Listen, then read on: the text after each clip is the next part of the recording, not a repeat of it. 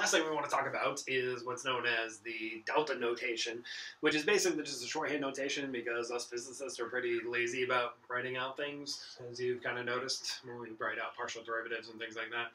We usually don't want to write out the entire thing.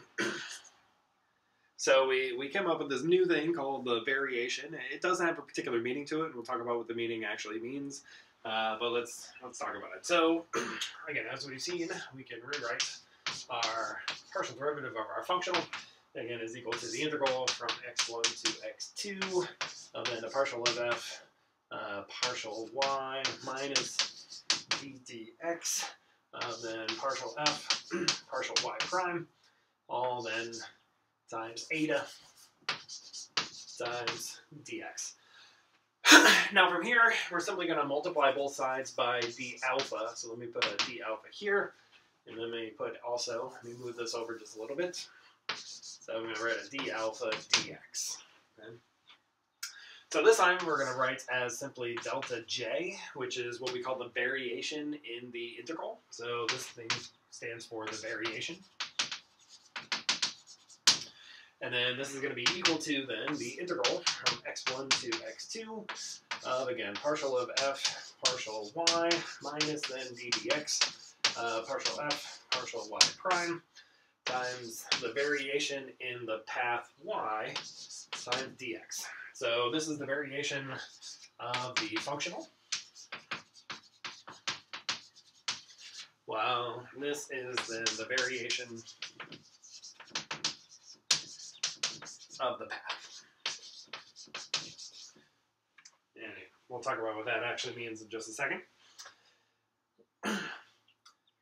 So uh, here, we're just using the fact that that's what? Again, the variation in the functional is the same thing as the partial derivative of the uh, functional with respect to alpha times then d alpha. And then the variation in the path is then the same thing as uh, the partial of y with respect to alpha times then d alpha, where again eta, again, is equal to the partial of y with respect to alpha, right? So this is eta by its definition. So basically, the extremization then of the functional integral comes from the fact that this thing now has to just be equal to zero. So now we need that the variation must be equal to zero, which is then going to be the same thing as the variation of the integral from x1 to x2 of f of y, y prime x, which is the same thing as the integral from x1, sorry, dx, uh, x2, the variation of the function itself, depends on y, y prime, x, dx. Mm-hmm.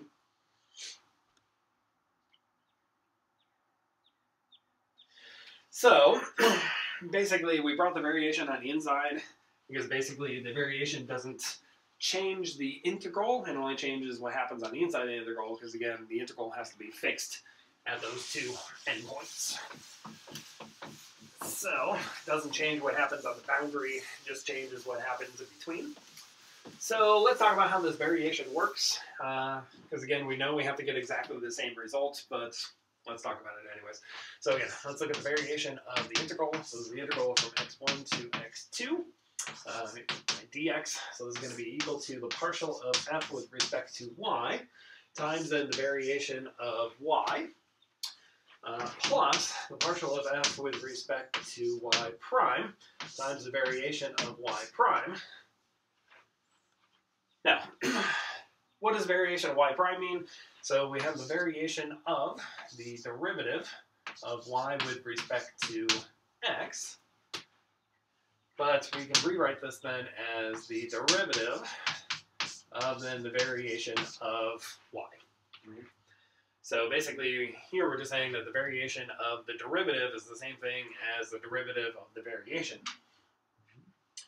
So, using this, we can now put that back into this expression. So this becomes the integral from x1 to x2 of then dx of then partial of f partial y times the variation plus the partial of f with respect to y prime times the derivative then of the variation. Now, as we talked about before, from here, since the variation must be arbitrary, Right? So same thing as before. We then want to make sure we can have this whole thing multiplied by the variation. Again, the way we're going to do that is to transfer this derivative to him by simply using integration by parts. And again, this thing has to be zero on the boundary term, which means that the first term of integration by parts, again, is going to give us simply zero. So this is going to be the same thing then as x1 to x2 uh, dx, as we get the partial of f with respect to y, minus the derivative of then the partial of f with respect to y prime, all then times the variation of the path. Now again, for this thing to be equal to zero, because again our condition is that what whatever's going to extremize this will cause the variation to go to zero, means that again, since this is an arbitrary variation, then in this case, what has to be inside of the integrand, again, must be equal to zero, which means that this thing is equal to zero, which again gives us our Euler equation. So same thing as I had before. So what is the variation of the path? So, and all this means is, so let's think about this. So here, say this is x, this is y, this is my initial point. Again, let's call that x1, y1. And we're going to integrate out to this point. Let's call that x2, y2, along some particular path. So this is my path, y of x. Right? So what is the variation? So the variation is then a displacement which occurs. So basically what I'm doing is I'm taking this path and I'm displacing it by an amount of delta x, or I'm sorry, delta y, but this is what's called a virtual displacement, not a real displacement, because the time interval at which this displacement occurs is zero. So basically meaning that I'm simply taking the path and I'm varying the path, I'm doing a displacement here, but the amount of time at which I'm doing it over, dt, is simply equal to zero. So this is what's called virtual work or a virtual displacement. So we're taking the particle along a different path using a virtual work because it doesn't happen over a time frame, it only happens at the same time. So here, the variation of the path basically means that we're taking this path and we're varying it by a differential amount, in this case, the variation of the path, uh, delta y. But again, we're doing it at exactly the same amount of time. So it takes no time to go from the one to the other one. We're just kind of varying the path. Now, one thing to note is that the variation of the path doesn't have to be a real path. So this doesn't have to be a path at which the particle itself is actually going to go over. It's just a variation in the path. So it doesn't have to have to be a real path. But typically this is what we call virtual work.